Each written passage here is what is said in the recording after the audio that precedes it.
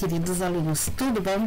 Primeiro ano, nós vamos trabalhar hoje o que nós chamamos na arte de textura tátil. Textura tátil é aquele que a gente pode sentir através do tato das mãos. Vejam bem essa imagem. Ela tem essas bolinhas que são diferentes de onde elas estão colocadas. E se a gente passar a mão, a gente vai sentir.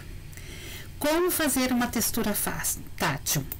A textura tátil nós vamos fazer da seguinte forma a atividade.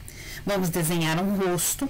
Quem quiser, eu vou deixar o material lá impresso, quem quiser imprimir, né? Se não, você pega e desenha um rosto do tamanho de metade de uma folha de sulfite.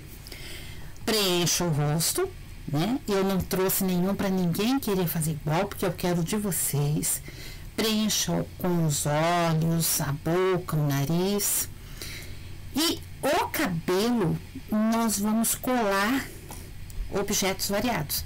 Que aí eu pus alguns exemplos, que podem ser tampinhas, cascas de árvore, a folha da árvore, áparas de, de lápis de cor, que é quando a gente aponta um lápis de cor e que fica aquela casquinha. Pode ser canudinho, pode ser areia com cola. Vocês vão inventar a textura tátil vocês vão inventar o cabelo dessa forma.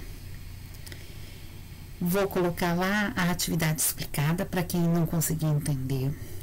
E eu espero a atividade de vocês na plataforma.